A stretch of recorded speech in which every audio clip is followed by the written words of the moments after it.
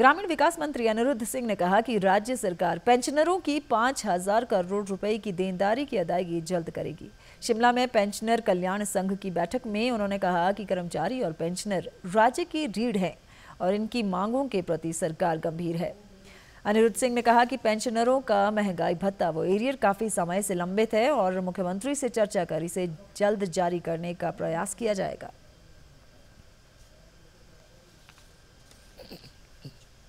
सरकार बहुत गंभीर है, मुख्यमंत्री बहुत गंभीर है कि इसको जल्द से जल्द जो है निपटाया जाए। क्यों निपटाया जाए? क्योंकि उनको भी पता है कि कर्मचारी जो होते हैं, वो एक बजटेड से चलते हैं।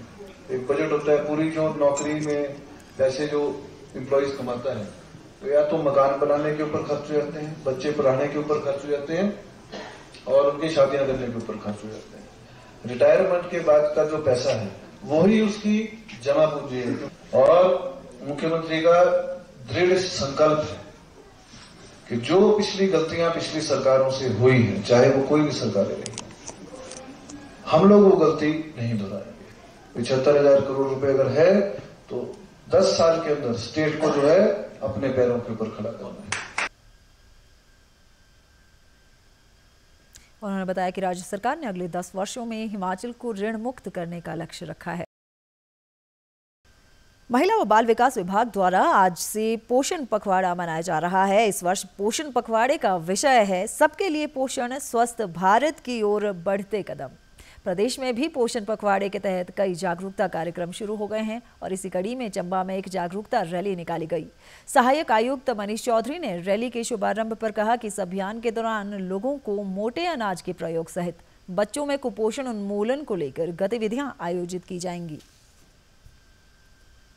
भारत सरकार के सौजन्य से सोशल एंड जस्टिस डिपार्टमेंट जो है, वो पोषण पखवाड़े का आयोजन जो है 20 से 3 अप्रैल तक कर रहे हैं। इसमें जो मोटे अनाज को का प्रयोग जो है प्रोत्साहित किया जा रहा है और इसमें से जो मुख्य रूप से महिलाओं और बच्चों में जो कुपोषण पाया जाता है, उसको दूर करने के लिए जो भी पग उठाए जाएँगे। उसमें मोटे अनाज को प्रोत्साहित करके इस कुपोषण को दूर किया जाएगा। इधर कुल्लू में महिला व बाल विकास विभाग द्वारा गर्भवती महिलाओं की गोद भराई की रस्म अदा की गई। एसडीएम प्रशांत सरकैक ने गर्भवती महिलाओं को उपहार भेंट किए। ऑब्जेक्टिव इस पखवाड़े का ये है कि जो जो इन्फेंट हेल्थ है इन्फेंट न्यूट्रिशन है उसके ऊपर स्ट्रेस किया जाए। हमारे लोकल सोसाइटी में जितने भी अच्छे भोजन हैं, जो हेल्थ हेल्थ हेल्थी भोजन हैं, उनको प्रमोट किया जाए। और इसी उपलक्ष्य में भारत सरकार ने इस बार जो मोटे अनाज हैं, उनको प्रमोट करने का एक उद्देश्य रखा है। और मोटे अनाज जैसे हमारे यहाँ कोदरा होता है, या फिर ज्वार है, इस प्रकार के जो मोटे अनाज हैं, उनको प्रमोट करने का ऑब्जेक्टिव रखा है, क्योंकि इन मोटे अनाजों में बहुत पोषण होना पाया गया है। इसके साथ साथ ही इसमें कंपटीशन भी रखा गया है कि जो भी जिन मोटे अनाजों की कोई रेसिपीज़ नहीं लेकर आएगा तो उन्हें स्टेट लेवल पे सम्मानित किया जाएगा। तो मेरा आग्रह है सभी महिलाओं से पूरे डिस्ट्रिक्ट में कि वे मोटे अनाज की अलग अलग रेसिपीज़ अपने घर में बनाएँ और उसका एक रील बनाएँ या फेसबुक पेज पर आ, उसका रेसिपी शेयर करें। प्रदेश के अन्य स्थानों पर भी महिला व बाल विकास विभाग द्वारा कई जागरूकता कार्यक्रम आयोजित किए जा रहे हैं जो आने वाले दिनों में भी जारी रहेंगे। लोकतंत्र जनता के लिए जनता का और जनता के द्वारा होता है। प्रधानमंत्री नरेंद्र मोदी ने भी 20 सितंबर 2015 को प्रसारित अपने मन की बात कार्यक्रम में लोकतंत्र के विषय में अपने विचार साझा किए और लोकतंत्र की परिभाषा को अनोखे तरीके से परिभाषित किया। आइए देखते हैं इस कार्यक्रम के कुछ अंश।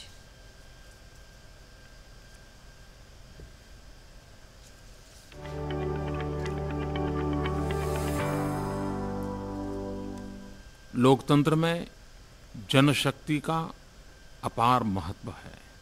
मेरे जीवन में एक मूलभूत सोच रही है और उसके कारण जनशक्ति पर मेरा अपार विश्वास रहा है। लेकिन मन की बात ने जो समझाया, जो जाना, जो अनुभव किया, उससे मैं कह सकता हूँ कि हम सोचते हैं उससे भी ज़्यादा जनशक्ति अपरम्पार होती है।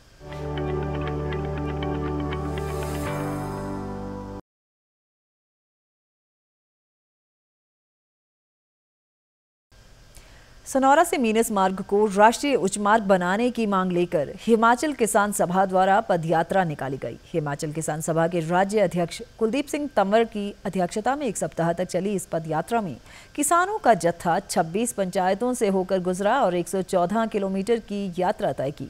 राजगढ़ के सनौरा में पद यात्रा के समापन अवसर पर आयोजित नुक्कड़ सभा में कुलदीप सिंह तंवर ने कहा कि सनौरा से मिनस मार्ग, जो 60 वर्ष पूर्व बन चुका है, उसकी दशा बेहद खराब है। वर्ष 2016 में केंद्रीय मंत्री नितिन गडकरी ने प्रदेश में उनहत्तर नेशनल हाईवे बनाने की घोषणा की थी, जिसमें ये मार्ग भी शामिल था, लेकिन अब तक इस पर कोई अमल नहीं हुआ है, जिससे स्थानीय किसानों को अपनी फ़सल मंडी तक ले जाने में काफ़ी परेशानी का सामना करना पड़ रहा है। इस अवसर पर किसानों ने एसडीएम के माध्यम से प्रधानमंत्री और भूतल व परिवहन मंत्री को भी ज्ञापन सौंपा।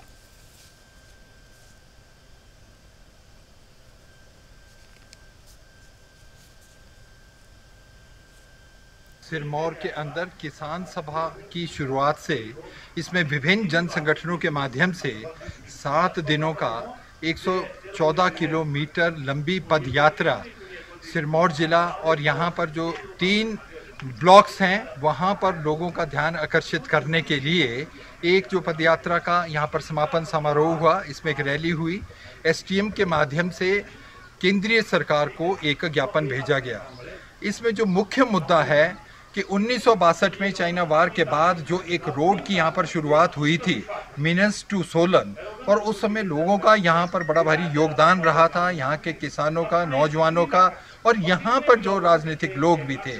मगर उससे आज 60 साल के बाद भी आज ये स्थिति है कि इसमें एक फुट भी ये जो सड़क है ये चौड़ी नहीं हुई।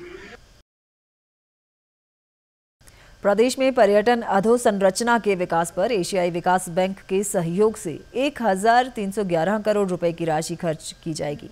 इससे प्रदेश में आने वाले सैलानियों को बेहतर सुविधा मिल सकेगी और राज्य सरकार पर्यटन विकास के लिए एशियाई विकास बैंक से इस राशि की सैद्धांतिक स्वीकृति प्राप्त करने में सफल रही है। हमीरपुर ज़िले में सबसे अधिक दो सौ सत्तावन करोड़, कुल्लू में दो सौ उनतीस करोड़, मंडी में 138 करोड़, जबकि शिमला ज़िले में 123 करोड़ रुपए खर्च कर पर्यटन विकास करवाया जाएगा। इसके अलावा राज्य सरकार ने हाल ही में अपने बजट प्रस्ताव में कांगड़ा ज़िले को पर्यटन राजधानी के रूप में विकसित करने के लिए 390 करोड़ रुपए की राशि की घोषणा की है। सरकार द्वारा ग्रामीण पर्यटन को बढ़ावा देने के उद्देश्य से प्रदेश में पर्यटन ग्राम भी स्थापित किए जाएँगे। कोरोना संक्रमण के बाद अब H three N two influenza virus का खतरा बढ़ गया है। इसे देखते हुए राज्य सरकार ने स्वास्थ्य विभाग को अलर्ट रहने के निर्देश दिए हैं। कांगड़ा ज़िले में भी स्वास्थ्य विभाग द्वारा इस वायरस से निपटने के लिए दिशा निर्देश जारी किए गए हैं। मुख्य चिकित्सा अधिकारी डॉक्टर सुशील शर्मा ने बताया कि इससे बचाव के लिए स्वास्थ्य विभाग के पास पर्याप्त दवाइयाँ उपलब्ध हैं और स्थिति पर नज़र रखी जा रही है।